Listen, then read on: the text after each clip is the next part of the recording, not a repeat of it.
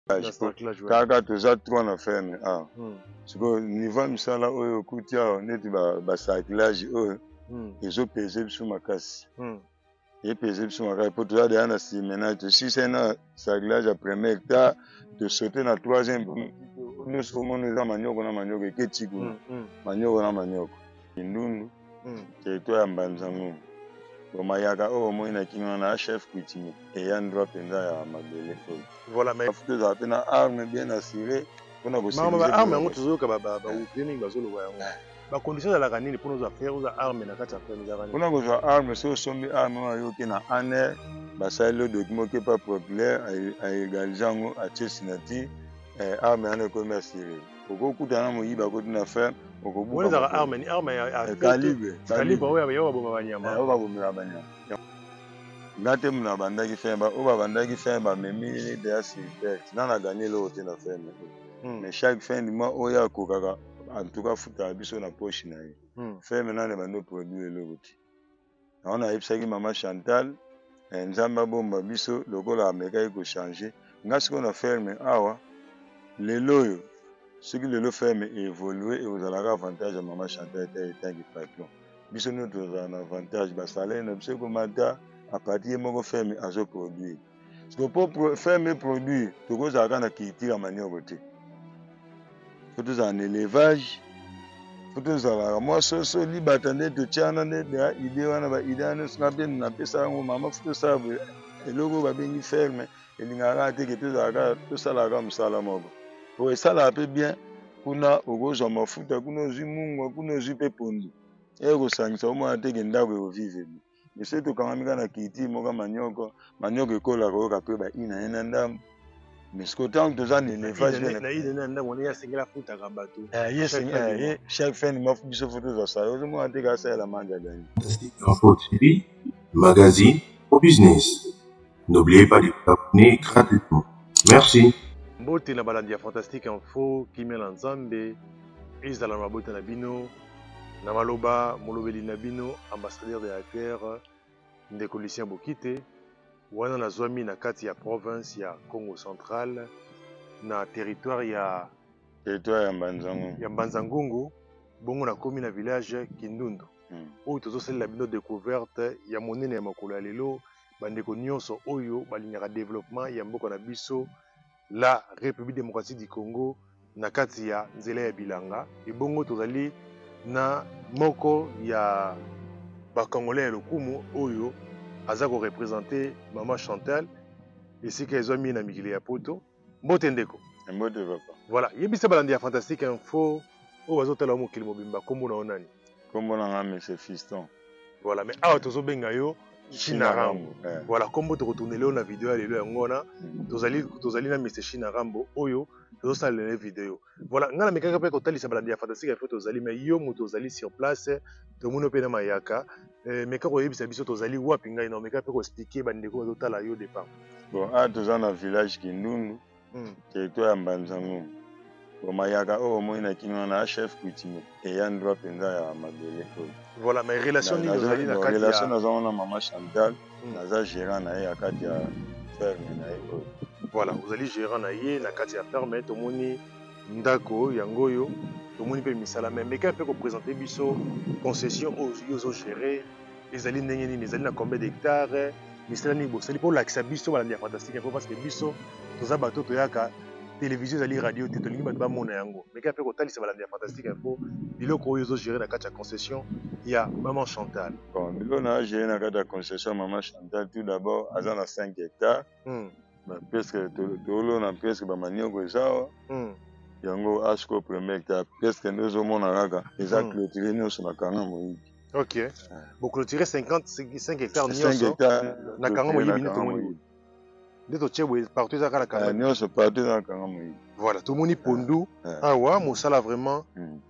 ezomonana alors pondu oyo tozomona ezali ya ya ya age nini bon maniogo oyo deja ekokisi 9 mois hmm.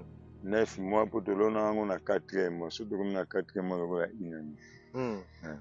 boloni combien d'hectare ya manioko yango bon presque eza 4 hectare ya manioko Quatre hectares na wapi eza reparti parce que on a zomona oyo siko oyo siko eza premier hectare to ko avancer bo omona ba hectare voilà balandi ya fantastique info bo vanda na ba canapé ozolanda biso na mutuka matisa volume parce que makambo ebandi découverte yango oyo documentaire oyo tozosalela bino ya mokolo ya lelo mpo na bomeka kosala découverte ya misala ndenge ezokoli awa alors tozali bongo na ndeko Shina Rambo oyo azo tambwisa biso na kati ya concession ya maman Chantal oyo azolanda biso esika ezwami ye. Voilà, tozo continuer. Alors monsieur Shina Rambo tomoni mpe ndako awa, ndako liboso kitoko mais na sima awa awa boza na projet nini? Tobokolaka mwa ba bibwele mwa ba tresor. toujours kaka na, na monde kaka ya voilà mabata boza na combien de mabata toza na seti mabata wana seti mabata donc barace kaka bozwaki bango kaka na kati ya ya ya kindundu awa to bosombaki te tosombaki bango na site na kimbala na kimbala voilà tozo continue balandi ya fantastique info mm.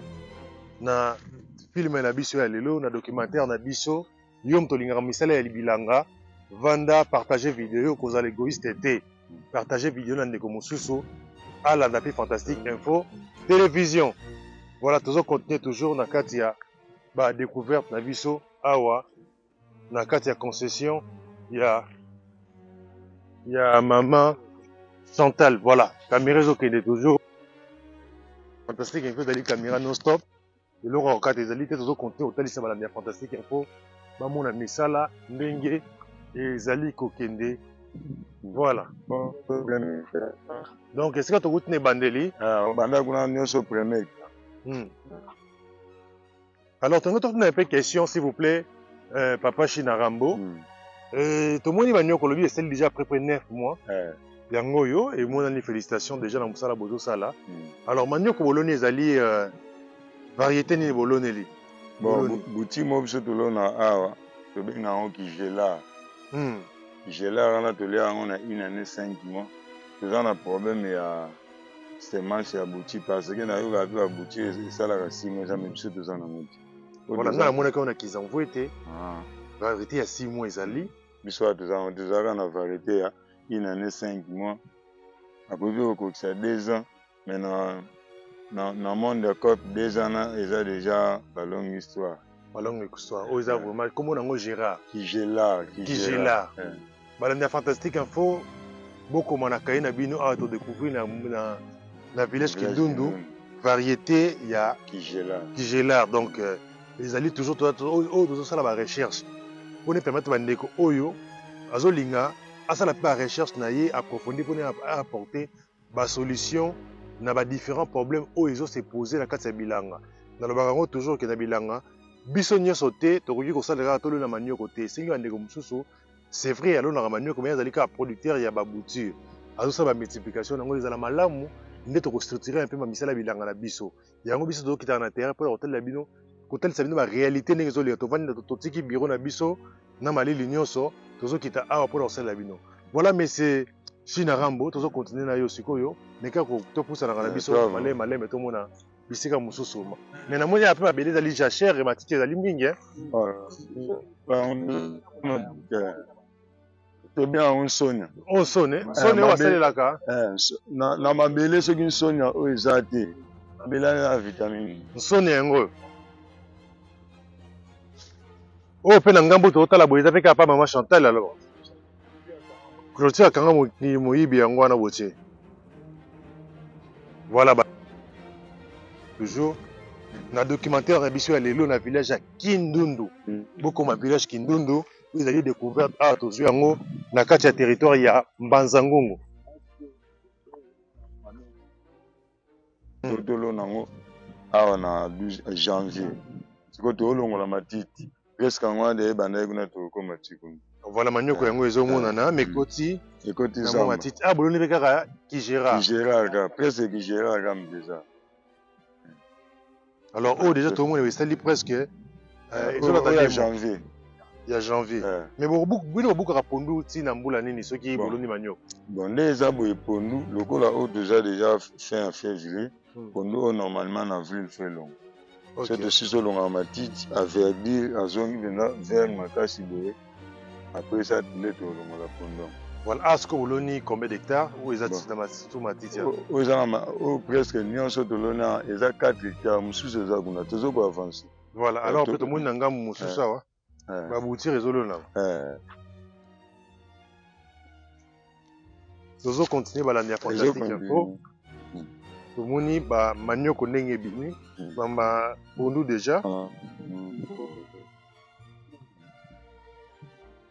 ozomona hmm. ah. oyo likoma février kaka ado janvier toujours mais yango wana eboti déjà ondi kitoko ya soki olongoli yango kama nde kuna ezolonga alaise mais papa china rambo awa soki bosala mosala ezani ezali euh, Eh, bolaboraka na nini na tracteur ou bato kaka nde bayaka kosala balabo ah biso awa tosalisaka na biso mpa ya bato hmm. donc tozwaka bato ofuti ye journée 8000 francs akoti tobandaka na tozalaka na trois étape hmm. tokataka na matiti apesa totumbi Yeah, tobenga chez deuxième chemin Nkutila. Nkutila. Yeah, Nkutila. Le temps sikoyo botumbi esili fo bogroupe basatana bosali système ya koforme mikala hmm. après ça troisième étape mbumba hmm. mbumba sikoyo après avoir mbumba nde toloni manioko ebimi voilà balandi ya fantastique info bazwaki déjà ba vocabulaire wana epa mama Mansanga na mboka Luila oyo explikaki ba mbumba eh, ba etape wana eh. vraiment hmm. tozomona toza toujours na province moko hmm. alors maintenant eh, bandeko basalaka boya mpo bino moboloni eh, après so bato babungi bo biso motoloni boevitaka tracteur ebebisaka mabele to tracteur eza ndete tosepelaka na yango te tracteur akundolaka kushe nyonso ase yango hmm. omonaka ntango osalisi bilanga na tracteur soki deja bozongisi deja trois fois place ya mabele wana ezalaka sur riche te hmm. mais apartir ya kokata na maboko nde tokatisaka bongo botumbi bapoussière oyo ya moto wana hmm. esalaka biso bien toujours fume ezobakisama na mabele voilà toujours fume ezobakisama na mabele hmm. elobi shina rambo voilà tozo continue sikoyo tozomona tomoni deja oyo tokoti na deuxième hectare Voilà, tokende tomona pe 3e hectare, 4e hectare ndenge olobi. TV eza radio te. Toko penza.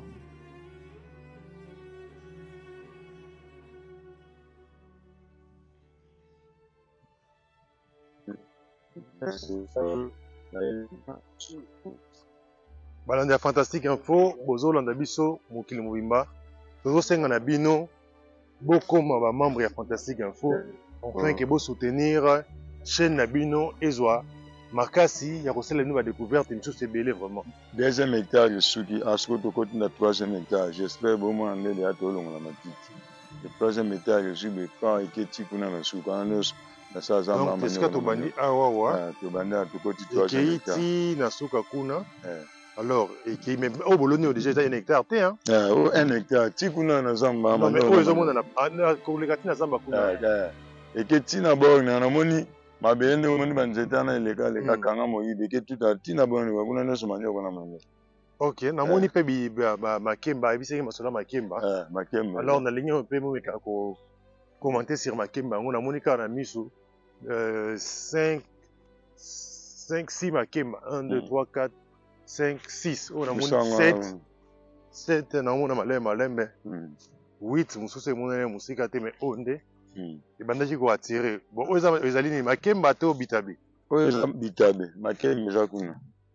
toko avance liboso kuna bolonaki ebele tolonaki tokozala kuna na 20 na 20 eh? mm.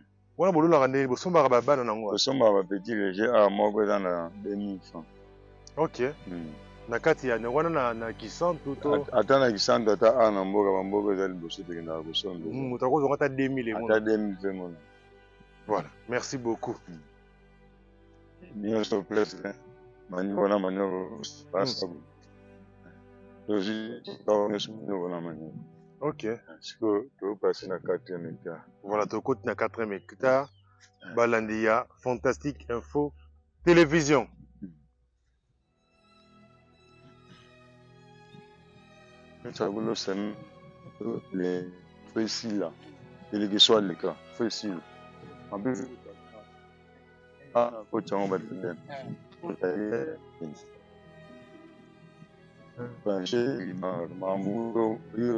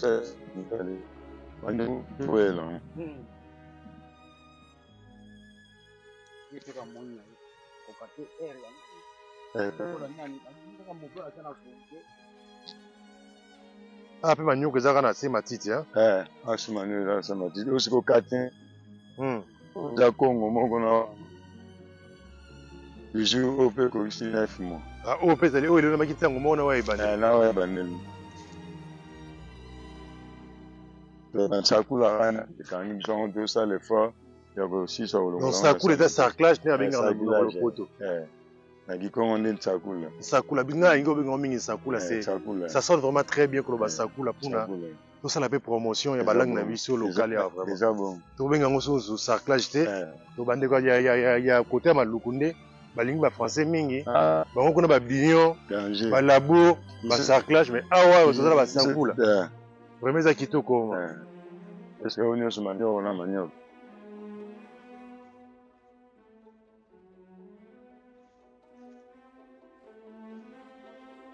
Oyo nyonso manioka 9 mois eh, eh, ozozela au moins une année 5 mois mpo na bopasse na récolte nango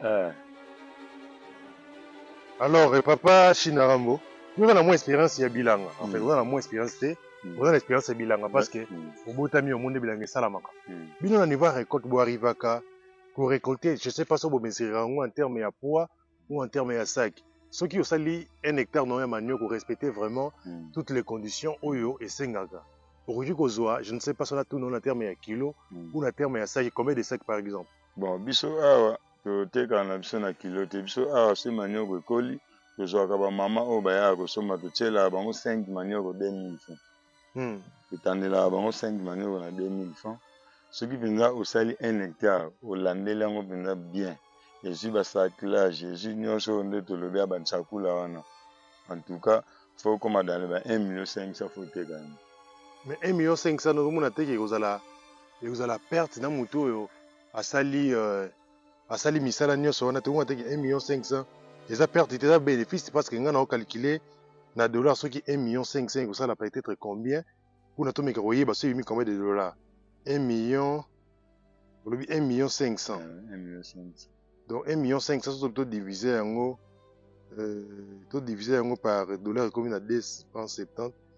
esala kwa 540 dollars au moins 540 dollars siko moni siko ekoma ba pia parce que ba mama oyo basombaka wana hmm. ba déchets manioko ya mike wana totanga yango te bazwa yango ofele yango omona siko bongo perte mais soki mpenza otia yango bafufu tokoma dans le ba 2 millions quelque ba 2 millions 200 oyoka mpe okangi yango naza na expérience na ona ototeka 1 hectare manioko mpa na nga hmm. moko tellement que nalandelaka suivi wana bien bien natie ndambo fufu nateki na mambo naye koteka 2 millions 800 2 millions 800 parce que namoni na culture ya manioc mpo hmm. na koganye nango fo pase kaka na transformation so oteki yango brite okoganye te parce que ndenge oyo elobeli calculation ezali vrima bongo 1 million 500 hmm. na 1 hectare moto aganye 530 140 100 540 dola ya moke parce que je vais vraiment m'expliquer na terme nde mosusu ya hmm.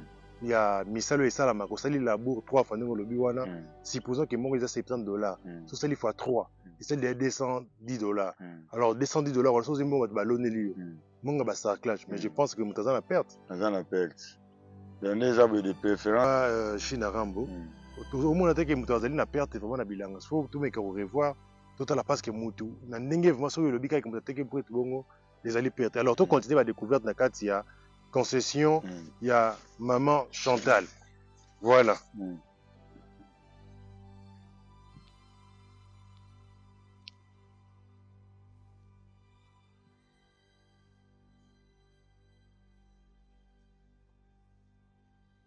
alors namoni mpe kuna boteka masango ezalaka wana ah bon tozali tolonaki ndaka masango Eh, lokola tozalaki na moto eutaki koleka bambula ebandaki kobeta te tomekaki hmm. kozwa pete ya masango wana 40 ya mai hmm. mais kamwa ndambo tozwaki tobombaki yango misa tosala sousemence tomeka koevolue yango ekoma ebele tomultiplie yango voilà une bonne idée vraiment eh. awa ah, mpe tozalaka na banioko esali 9 eh. mois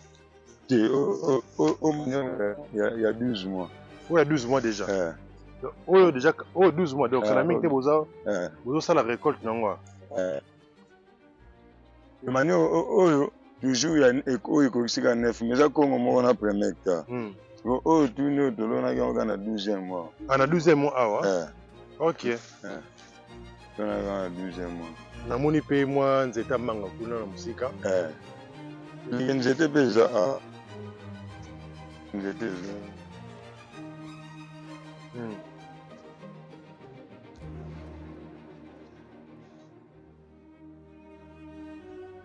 ah, oyo balonaka yango namoni mangi moko eh. ekoli deja tronc eh. hmm. yango monene deja oyo elonamaka na nga na nakomi na nga gerant awa te na hmm. moto nga na remplace ye nde moto asala bastation oyo na bomalala mpe hmm.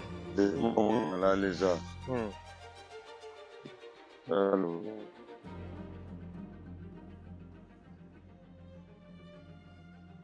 Thank you. donc awa boza na problème ya cerclage cerclage kaka parce que ba nzete ezosala biso na makolo ya moye te net ma oh, malala tu na malala ezali ya ezali donc manque d'entretien eza kaka mokuse eh, hmm. nayo bozo okipe yango te tani ba district katani katani ezosenga koto koluka deux jours batina bato koto donc limite na ye yango wana tomoni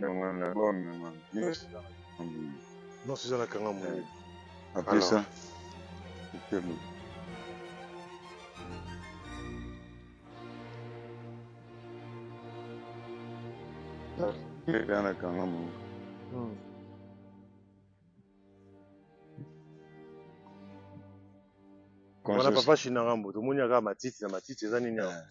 Ah, ah sikoyo ndambo etikala taye mama chanteur toyebiseke ndambo etikala oyo oh, eza 70 mètre hmm. si 40 oyo oh, na concession mema place na tosali bilanga te yango oyo eh. donea toprofite na yo moi omoi toza serre mpena na, na circulage kaka toza 3 na ferme awa ah. hmm. sikoyo niveau ya misala oyo okuti awa neti basirculage oyo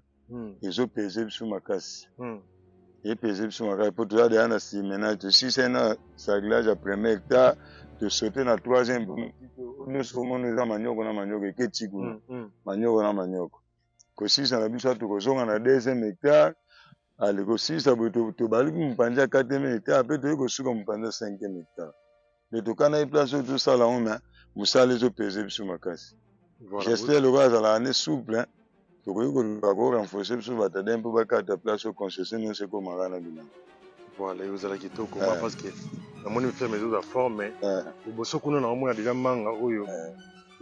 ekokoma capable ebota deja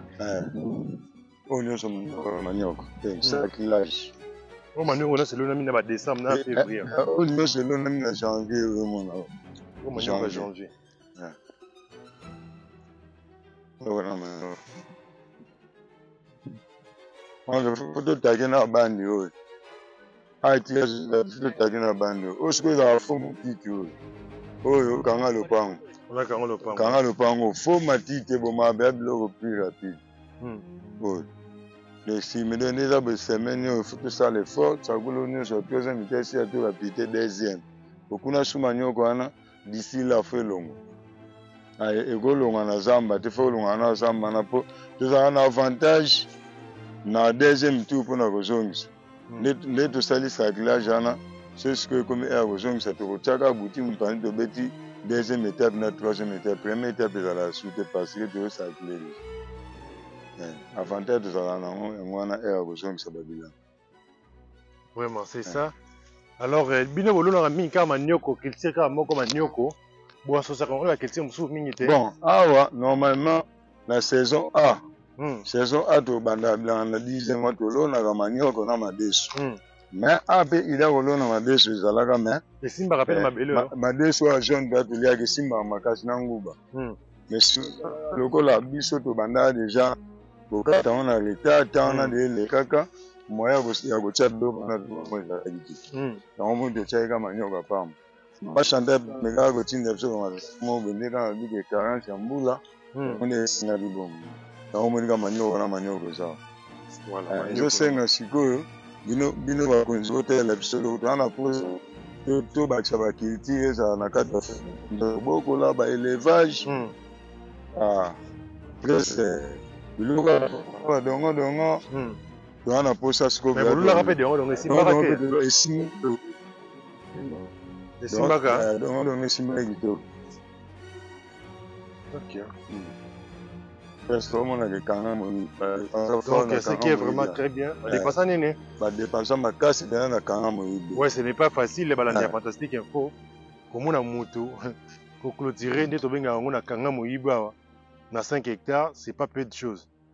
To depensa fort dans les ba 1 million ya tosomba ya ba ba ba, ba, fil, ba, ba kanga moyida mm. tokoma na ba 1 million mm. Mm.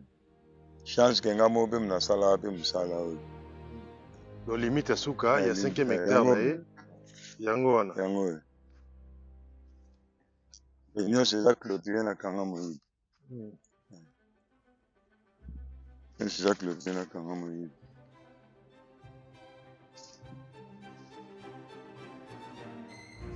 Donc bord na ye suka yango vraiment. Ata ekiti boye sel vert ti kote tobandelaki. Donc moyen moto akota na ngambo na ye. Moto akota aza ti.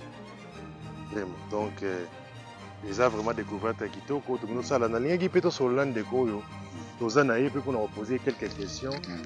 par rapport ya misala parce que ye moto azali awa tokuti azolala awa alors ameka mpe koyebisa biso ba certaines informations oyo peut-être ngai nao tomekaki kochape Mbote ndeko.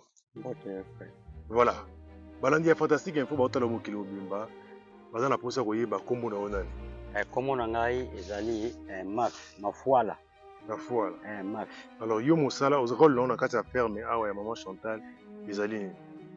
bon mosala nasalaka awa na kati ya ferme ndenge kaka bozomonela biso awa eh, manioka ezali nasalaka mosala bilanga mama bata mpe baza kuna lesaka mama bata donc misala yango wana tosalaka awa osali mbula boni deja awa asali basix mois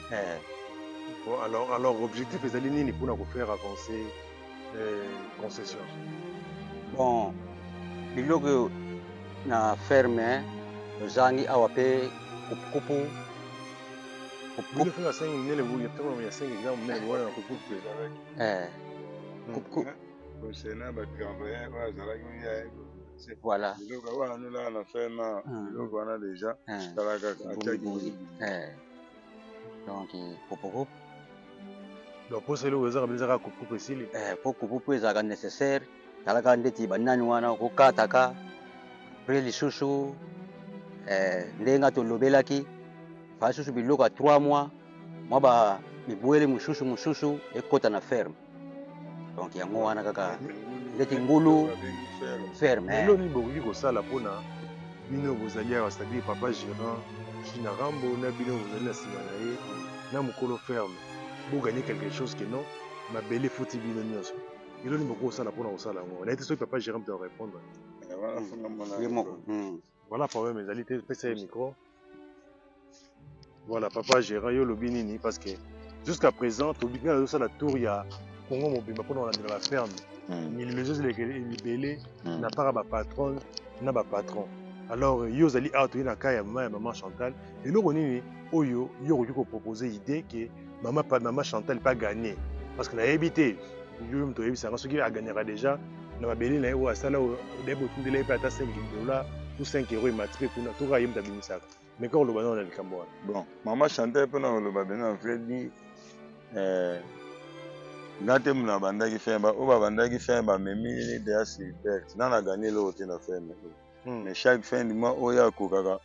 en tout cas afutaka biso na poche na ye hmm. feme nani ebandi oproduit eloko te yango nayebisaki mama chantal eh, nzambe abomba biso lokola amekaki kochange nga sikoyo na ferme awa lelo oyo soki lelo ferme evolue ekozalaka avantage ya mama chantal te etangi patron biso nio tozala na avantage basalele na biso ekomata apati ye moko ferme azoproduire sikoyo mpo ferme eproduire tokozalaka na culture ya manioko te fo tozala na élevage fo tozalaka mwa soso libata nde totyana nde ide wana baide wana nyonso nga mpe napesa yango mama fo tosala boye eloko babengi ferme elingaka kaka te ke tozalaka tosalaka mosala moko po esalaka mpe bien kuna okozwa mafuta kuna ozwi mungwa kuna ozwi mpe pondu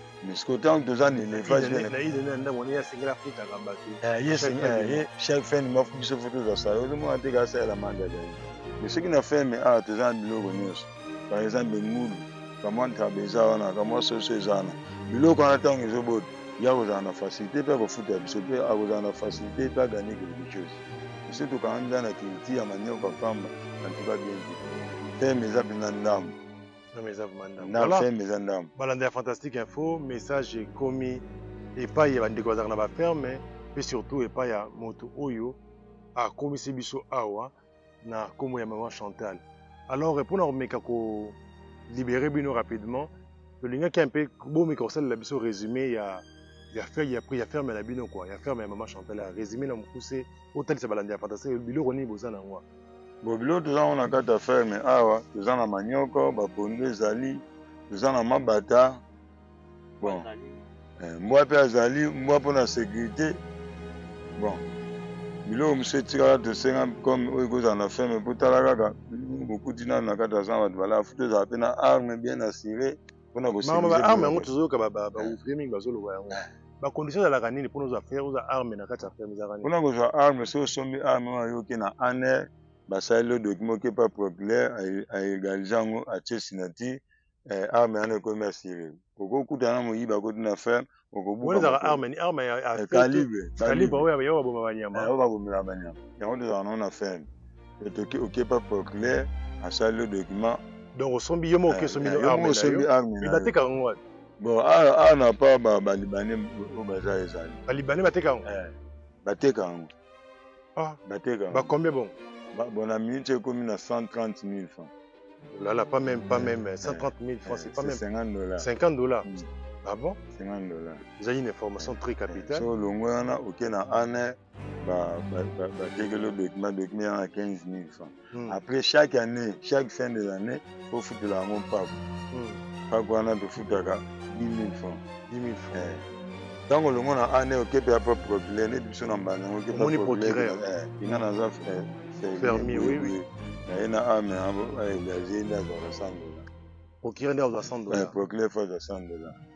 asine deja bapesi na doni voilà balandi ya fantastique info tokomi na suka na descente na biso ya lelo documentaire tozosalela bino lelo na village ya kindundu bomoni ndenge misala ezosalama awa bomoni nde papa shina yango alobi na papa na biso awa ezali kitoko ma nayebi te papa so aza likambo mosusu ya kobakisa na oyo gérant alobi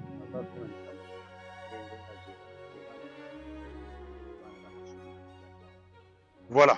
Balandi ya Fantastique Info tosengi na bino bo s'abonner, bo partager video na bandeko nyonso oyo balingaka mboka na biso se développer na ba recherche na boye tokoyeba niveau ya, ya bilanga na biso ya agriculture na mboka Congo pe quels quels quels sont ba démarches oyo tokoki kosala mpo na ezwa niveau tolandi nde bandeko bameki kokabola mayele na bango na oyo bayebi ezala vraiment euh, parenthèse oyo efongami mpo tocontinue enfin ke L'agriculture ekoma vraiment la priorite des priorites na kati ya mboka na biso.